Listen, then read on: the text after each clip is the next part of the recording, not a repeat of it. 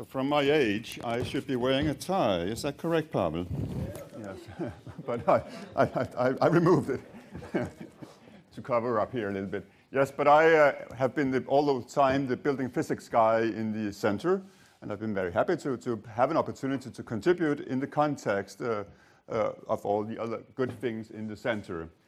But uh, with my, well, age uh, and, and uh, the time here, I thought all those topics that we've been dealing with in almost 20 years, which one should I choose?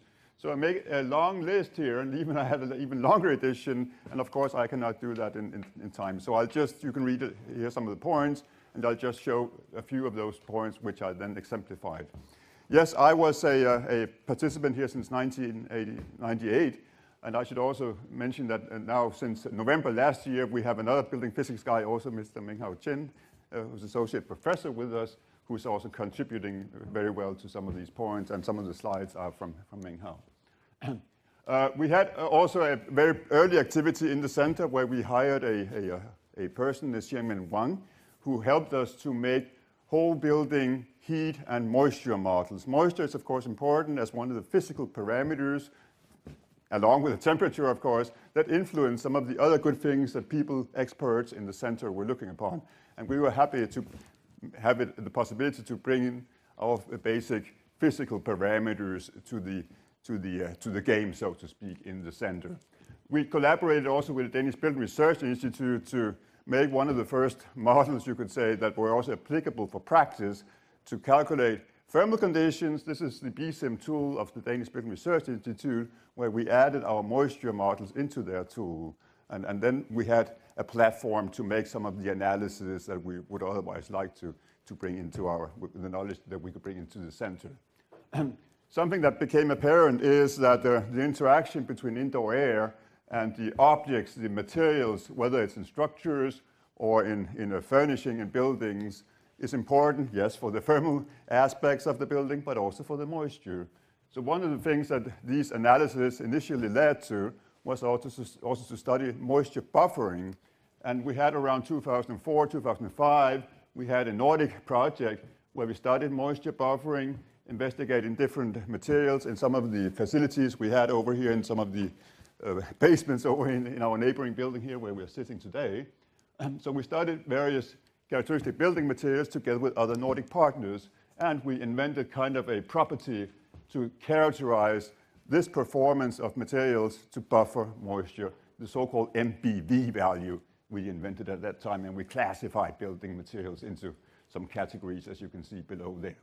Um, Menghao, I just mentioned, I just introduced, has then also recently or continues working on this subject also today, and also Menghao has found that the moisture buffering uh, actually can be, for some climates like here, for temperate climates like Paris, semi-arid climates like Madrid, can be quite significant also to influence the energy performance of buildings, where he finds that some 25 to 30% of the energy uh, use can, can be saved or changed at least, moderated by also the moisture buffer effect of building materials. I'll jump a little bit also more, much more recently into some of the things, and I'm touching a little bit about upon the thing that we just saw, also Ronglin was mentioned. So I'll be very brief, but just elaborate a little bit more and show some other examples also about flexibility of, of buildings, again, using this thing about capacity of buildings, but now for the thermal thing, and in the city context. I show it still because I have, have a few other examples that then Ronglin just showed you. And we are studying some, some example buildings out there, and several of those uh, in, in, in, the Nordhavn district. And they are characterized by being very heavy. Lots of concrete are being poured into those buildings, and lots of thermal insulation. So they have very high thermal stability, those buildings. And what we're showing over here is something that Ronglin did not show, but we've also had a number of, of students who are working on, on this topic here. Um, and, and here is an analysis by, uh, by, by, varying, in this case, the, the window U value, how you can, as we saw some, some number of hours, that uh, you can have a comfortable temperature kept, uh, even if, if the heating is turned off from, from a building and we see hours like 40, 50, up to 80 hours, depending on the U value of windows. So there's an enormous potential to yeah, utilize this flexibility. By you can, we can switch off the heat for quite a long time. Ong spoke very much about electricity. That's of course very, very relevant, but we're also now studying even more how also flexibility for the heat supply to buildings is something that is interesting. even we are also making, yeah, that's a very rough, a rough picture, but we're also trying to measure directly in the structures out there in Nordhavn with thermocouples within uh, the concrete elements uh, to, to register physically this uh, thermal or temperature stability. I think, uh, yeah, it's rather basic, but even then we think, ah, we're not sure that it's been done before. So that's interesting.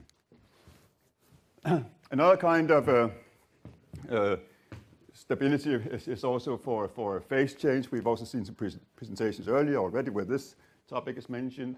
I just mentioned that it's also an old building physical topic, and this is a, some, some uh, work of some students I had uh, almost 10 years ago, uh, where we used the microcalorimeter that we have over again in the lab over in building 118 over here. Uh, so studying these phase change materials um, um, where, where we have a differential change of the temperature and you measure the, the specific heat under, under those circumstances and how it changes for heating as compared to cooling.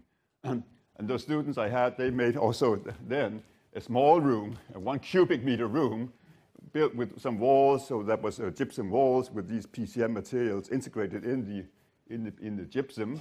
And you can see how they, they measured for some daily changes of temperatures by switching on and off some lamps, how also the, the temperature peaks where could be changed quite significantly by use of phase change materials.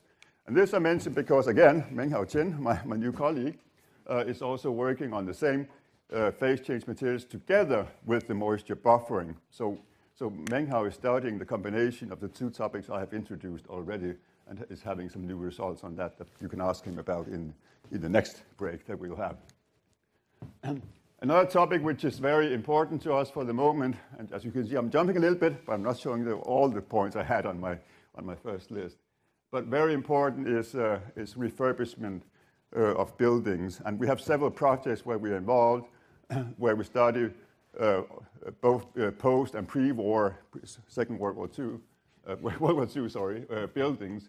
Uh, but, uh, but for the pre-World War II buildings, typically Copenhagen buildings, brick buildings, more than 100 years old, how can you insulate those? You cannot add thermal insulation on the outside because that will, for aesthetical reason, reasons, completely change the building, which is not in a city context as Copenhagen seen to be acceptable. So you have to insulate from the inside, but from a building physical point of view, it's not the best place because you have a risk of moisture accumulation as indoor humidity may, may hit or meet the, uh, the exterior former parts of the wall which have now become, become cold if you put insulation on the inside. So a lot of analysis by us, but also by other colleagues. Here. We are participants in a huge European project on this theme uh, are studying this theme uh, on this, this topic here. And I, I have chosen to show you this picture here because we think we can do it better. um, uh, or we need to, to think carefully and practically because you see here a beam, and a beam that's a three-dimensional structure in the, in, the, in the building. And people are thermally insulating the exterior walls, and they are making models for that. Here you have the thermal insulation, and this is a calculation that most of our colleagues are doing. And combined heat and moisture in structures, we have good programs two-dimensionally, but very few or hardly any three-dimensionally. So people are analyzing this in 2D. Is that good? Nah, not necessarily. So you have to think three-dimensionally. And the, a wooden beam, and, uh, and uh, it, it, there's a risk of degradation of, of those things if it's not considered correctly.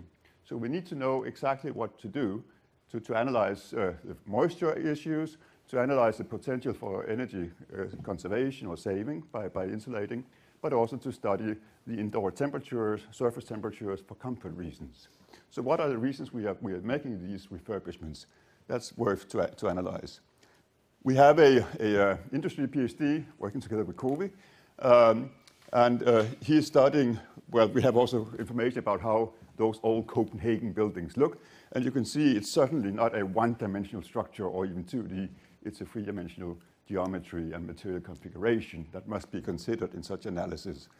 Tommy, as his name is, Tommy Odgaard, uh, made this picture where you can see how small an area is one-dimensional. Some of it is two-dimensional, very much of it is three-dimensional.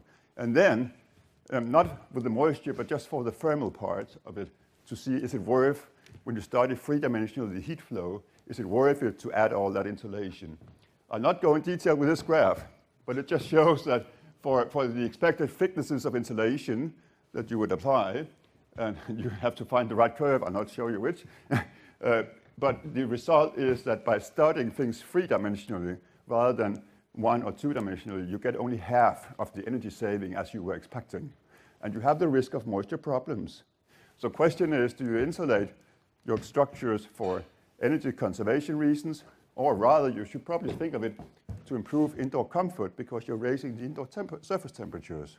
That is probably the main reason why you, you apply insulation inside. But do it correctly so you won't have moisture problems. How many minutes I have left, Pavel? Only a few more subjects, but uh, I just uh, chose to bring also this here. We um, use also the heat and moisture hydrothermal knowledge to study uh, internationally uh, the influence it has on emissions, for instance, of VOCs from building materials and materials you have for indoor furnishing. So we are leading the International Energy Agency, um, EBC, Energy Conservation in Buildings and Communities, Annex 68 project on, as it says here, indoor air quality design and control in low energy residential buildings. Uh, essentially, it's a matter of can we, with our building physical knowledge, can we contribute to designing the proper level for ventilation such that we should always, of course, have sufficient ventilation. We'll never sacrifice the occupants indoors. But not more than that, since we have to nowadays make energy efficient buildings. So what is the optimum we, need, we should find?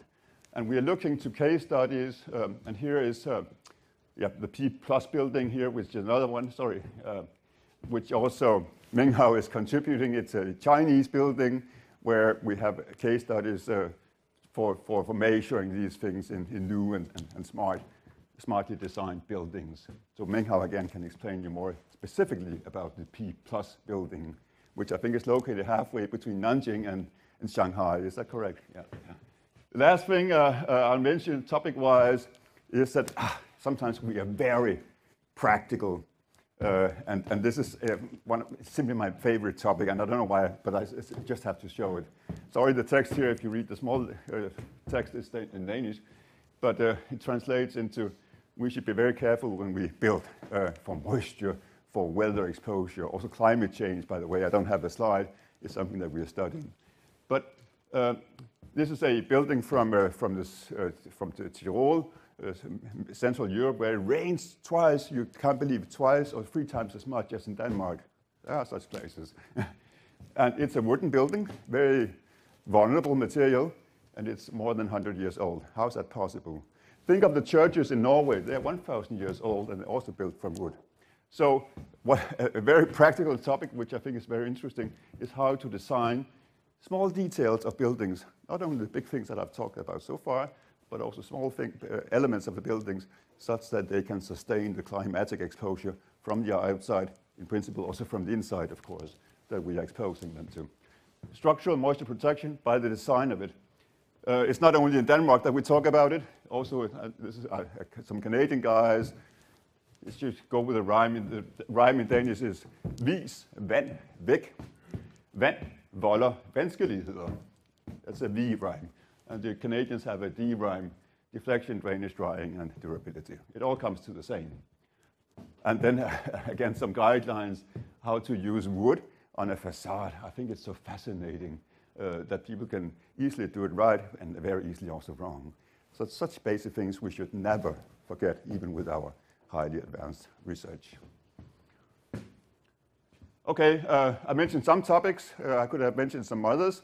Uh, but essentially, I see building physics. Of course, I think it's interesting. But for me, it's interesting particularly because it makes it possible for us to collaborate with some, so many other interesting people also, like, for instance, all the colleagues we've had for almost 20 years in this center here. So I'm so happy to be still part of it. So that completes my introduction to you.